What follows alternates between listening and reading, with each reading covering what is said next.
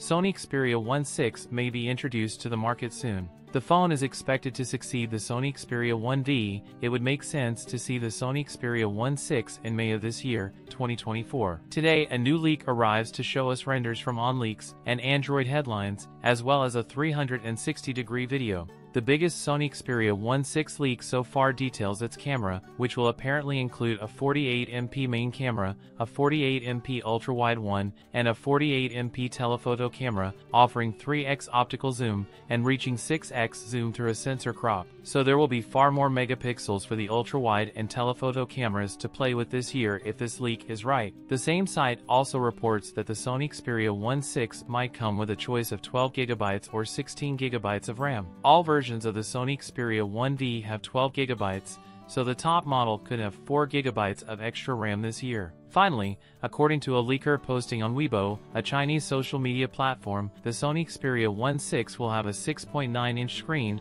This is a surprising claim, as due to the expected 21 to 9 aspect ratio with a 4K resolution, that could make the phone extremely tall. Sony likely to move from the Snapdragon 8 Gen 2 to the Snapdragon 8 Gen 3, so expect the Sony Xperia 1.6 to be more powerful than Xperia 1V. Sony Xperia 1.6, we'd like better heat management with faster charging watching, that's it for today's video. If you enjoyed it, don't forget to like, comment, and subscribe for more content. Thanks for watching, and I'll see you in the next one.